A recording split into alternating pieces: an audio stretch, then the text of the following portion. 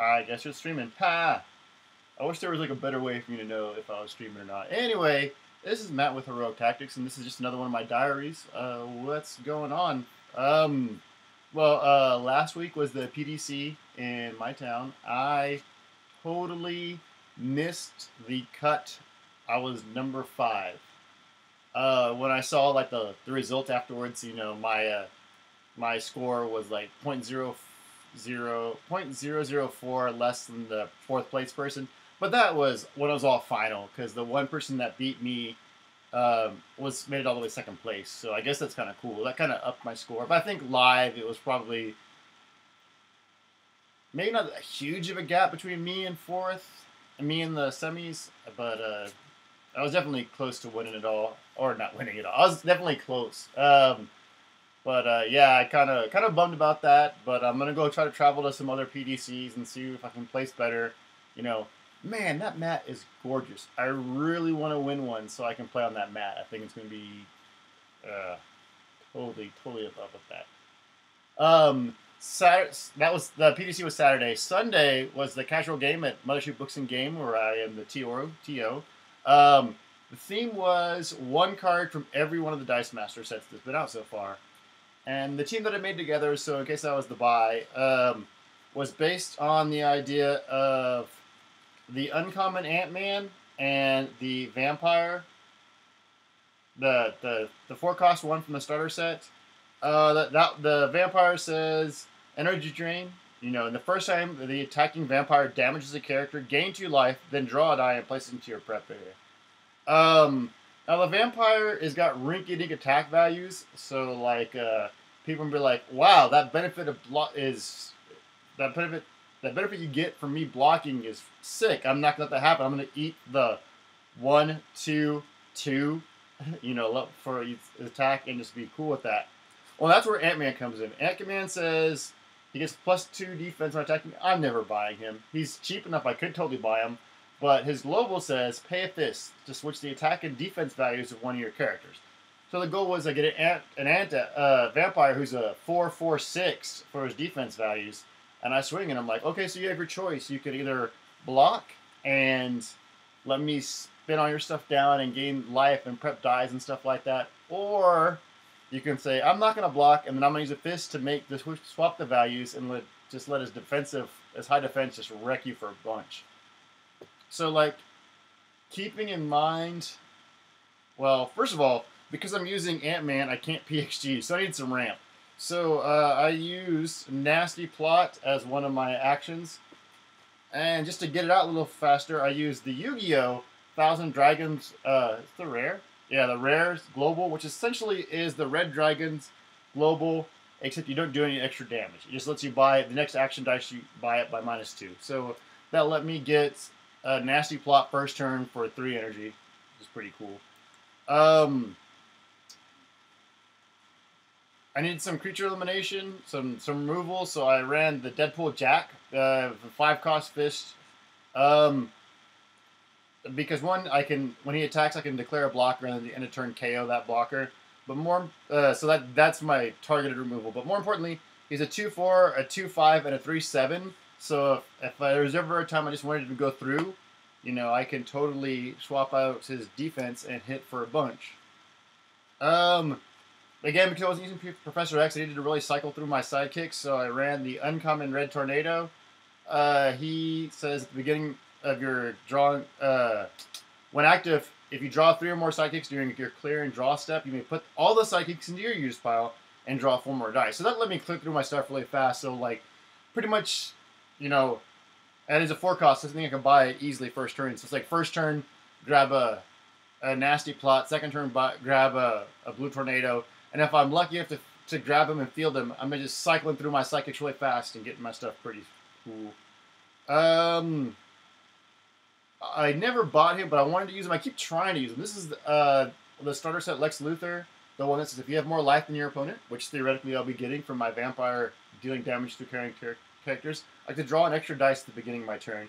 And I just couldn't get him to work it out. Um, so yeah, he was definitely a good idea. Something that I did get to work out was Kingpin. This is one of the starter sets. This is the one that's uh, payback when Kingpin Kingpin when Kingpin takes damage, he deals target opponent one damage.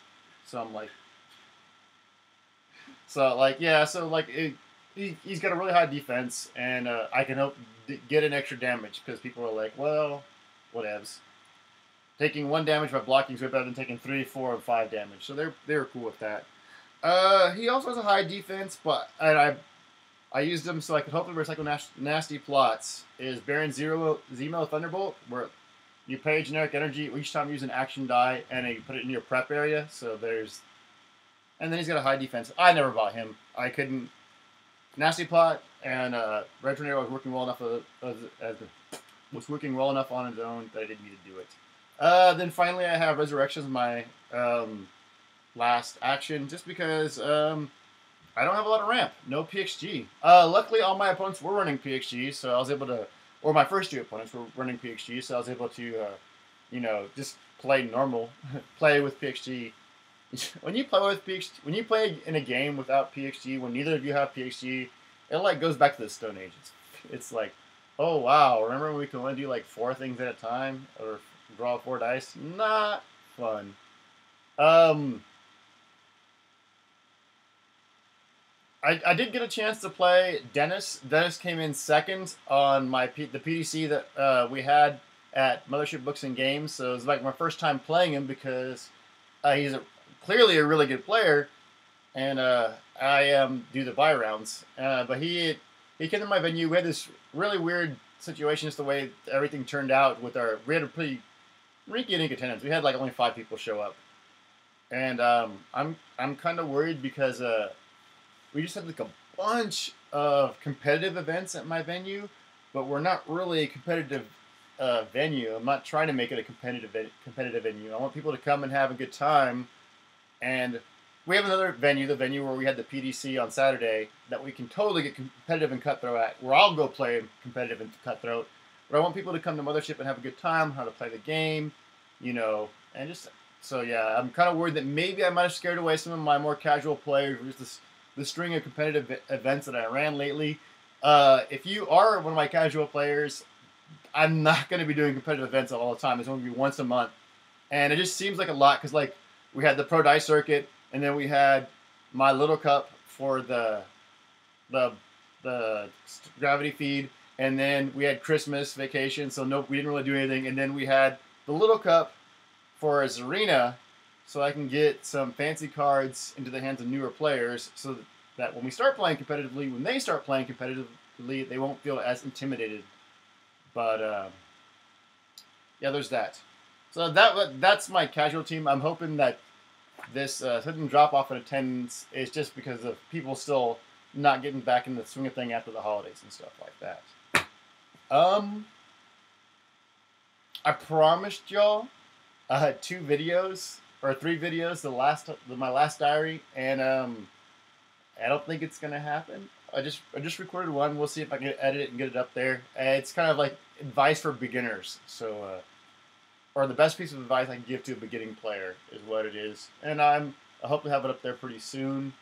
Um, I will work next week maybe Oh man, I'm training for the PDC, so it's like I spent all my time playing and not enough time filming and stuff like that. Uh, but yeah, I'll be working on a video. Um, the best piece of advice for intermediate players, people who've been playing for a while and stuff like that. And then I got a video comparing and contrasting two very excellent methods of removal, both of them that I'm kind of fond of. Uh, I've got a video where, um, or I got a video idea coming up where I, I talked about this one global that is super, super, super gross good, but I hate it because it's so good your opponent can use it against you. And we'll talk about that and be like, well, this is why I don't recommend this global. Um, oh, and I thought, thought about this thing is like, we're all explored. The rumor is, is that they're going to be, uh, what is the word? Rotation, a set rotation that's going to cost us, uh, uh, uh, Avengers vs. X-Men, uh, Uncanny, and possibly Yu-Gi-Oh! So I just kind of wanted to highlight some of the cards I would miss from this set, or a card or two that I'll miss from a set, and if they rotate. Um, I honestly, I, don't think rotation's good for the overall game, especially when people are like, especially when new players just look at these old cards and in their head they're power cards, and maybe you know that they're not power cards and that if you look at the PDC, they're not. A lot of them aren't showing up, and but you just it's a psychological advantage when you when people go, oh, I need a sixty dollar card to compete. So like they kind of don't like that, and they kind of get turned off by competing. So I'm hundred percent in favor of set rotation. Um, and plus, I think it's going to happen anyway, just because uh, it makes business sets set while your people are buying the more powerful sets. Uh, some of the perceived weaker sets are, are being ignored. So the more recent ones that people that I guess are more balanced, but uh, not as powerful as the older sets are being ignored. So while they're doing that, uh, WizKids isn't moving product. So they want to move that product so that stores will buy more product from them. So uh, yeah, set rotation is going to happen. Uh, I'm sorry if you don't think that's the best thing, but I, it's good for the game. It's good for new players. It's good for the retailers. So it's going to happen. But yeah, I'm going to miss some of these cards. So that's what I was going to get at. Uh, I hope we can get some really good substitutes for them, but I'll talk about that later. That'll be a new series I get going on. Um, thank you for watching, especially if you're watching this on Twitch. Um, uh, I've been having some problems. I don't even know if anyone's watching. I don't even think I'm live. Oh, I do have a watcher, so thank you. Oh, awesome. Uh, let's see if there's any questions. Oh, no questions. Cool. Well, thank you for watching, everybody. Um, I'm going to try to do this more regularly. This was kind of a last minute thing because I plan on traveling for the PDC and I need to get ready for that. So, uh, yeah. Uh, if you see me at the PDC, say hi. Oh, if you're definitely, if you're a Texas player, uh, we have a, a Texas Dice Masters Facebook group. You should totally join it, especially if you're like a tournament organizer. So you can be like, hey, look, come play at our venue. We're having a really fancy event. Like I believe uh, Aerostar Games talked about their special win an entire set of Spidey Man events that happened last Saturday, and uh, I think we were kind of, I think we are all aware of it because it showed up on the Texas Facebook page. So it's really good for that kind of stuff. So, um, oh yeah, please.